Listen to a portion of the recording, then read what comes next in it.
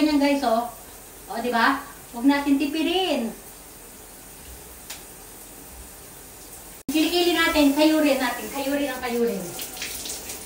Yan. Kasi marami ako nalagay kanina eh. Iba kasi masyadong ano, ma, ano yung sensitive yung mga balat. Pero kailangan nyo muna i-test. Pag yung ano na kayo, na- may mga redness, huwag nyo na po ituloy yung ano. Ha? Ito kayo na tayo. Basa dito? O, ito yung ating towel. Unahin natin, pakita ko sa inyo mukha ko. Ayan o. Oh. Shoo! oh, di ba? Oh. Lalapit. ah, dito naman tayo. Ah, di ba? Kailangan natin mag...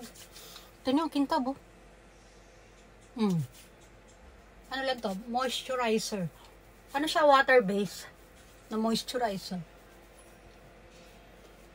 Yan lang. Tap-tap lang. Siyempre, pati sa leeg.